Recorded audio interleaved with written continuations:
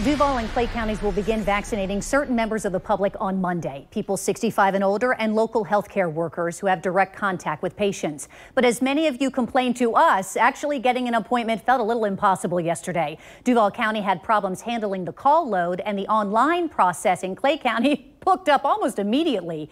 Heather Huffman is the interim director of the Duval County Health Department and also Clay County Department of Health Administrator joining us via Zoom this morning. Good morning, Heather. Thanks for joining us. Good morning, Jennifer. So I heard it from viewers yesterday. I know you also heard it from the public. They were calling us, telling us, why on earth didn't the Duval County Health Department have more people answering the phones? Was that the problem yesterday? So the state of Florida uses a centralized phone system. So I want viewers to first know that this was not a specific Duval County issue. It really truly had nothing to do with how many people could answer the phones. It really had to do with the phone system itself and how many phone calls were coming in, it basically crashed the system. Um, you know, we can have all the systems in place, and until we face it, we don't really know exactly what's going to happen. So the state of Florida knows that. The vendor that we have for the phone system is working on that but we are going to be launching an online system. We do know that that's a better opportunity for a lot of people. Many people are very technologically savvy these days. So we hope that that will be a way that individuals will not be so frustrated. But we do hear how frustrated they are, and we're frustrated with them. You, when will the online option then be available, and how will the public be notified that it's available so that they can hop on and make an appointment as quickly as possible? So we hope to have that all ironed out throughout the weekend. We've been working with the city of Jacksonville and getting that system up and running. We want to make sure that we test run it to make sure that we're not going to run into any hiccups that we have with the phone system, like many other county health departments across the state did yesterday. Um, and so as soon as that is available, we will put that on our website and we will also do a press release so that that information goes out and do also our social media accounts. All right. And we'll make sure as soon as we receive that to alert the public as well. Are there any vaccinations for these two groups of, of, of, of citizens still available in Duval County? So yes, we have quite a few vaccines. So we've received in Duval County at the health department, we've received 16,000 doses of the Moderna, and this week we should be receiving an additional 10,000 of the Pfizer. That's a very small number, and so I want people to understand that we have almost a million people in Duval, even if with just these targeted groups that we're focusing right now, which is the healthcare frontline healthcare workers and excuse me, and the um, 65 and older.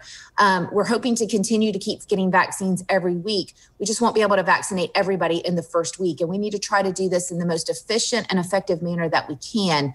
Um, and so, as those vaccinations are coming from those manufacturers, um, those vaccines. We will be um, adding appointments as they come available with the vaccines that we have on hand. Now, in Clay County, some people reached out to us frustrated that they they also felt that they didn't have enough time or get be given enough notice about a chance to book an online appointment. It's online in Clay County. How do you respond to that?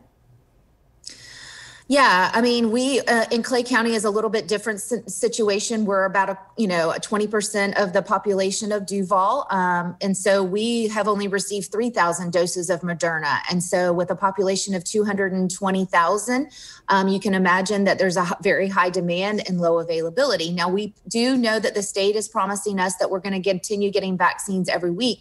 We just don't know what the number is every week. But as those numbers come in and we receive those vaccines, we will be adding those appointments appointments um, to the available appointment line that we have um, online. So we'll be doing that. it, it is very frustrating because we had the 3,000 that we put out there and we put all those appointments out and they booked within three hours. So we do know there's a very high demand and we want people to continue to be excited about getting the vaccine. So it's interesting because some may some people may do what I did. I was basically calling around all different you know counties trying to find them for my parents and lucked out in Baker County, believe it or not. That said, you know if somebody maybe booked an appointment in Clay County but found something somewhere else, you know now that that could if they cancel that appointment, is there some way then that the health department can notify the public and say, hey, we've had some open up? Well, definitely. I know with the Clay County system that you can go in and actually cancel your appointment um, and um, have that availability to have those. I think those are going to be far and few between at this point, Jennifer. But yes, that definitely is an option. I want people to understand that this is a federal vaccine for a, va- a federal vaccine program. So there are no borders um, related to the vaccines that we have We do know that allocations are coming based on population within the community. So we do encourage individuals to go within their own community that they live. But we do know that, um, you know, there is no bounds by a federal vaccine to stay within the county that you reside. And I want to point out that both of my parents are very high risk and my father is recovering from cancer, which is why I did that. So uh, considering how hard it's been to make an appointment for, you know, the first dose, how will the second appointment be made? Do they make that when they go either in Duval or Clay or anywhere else when they go to get that first dose? Considering that they don't want to have run into a problem that they can't get the second dose.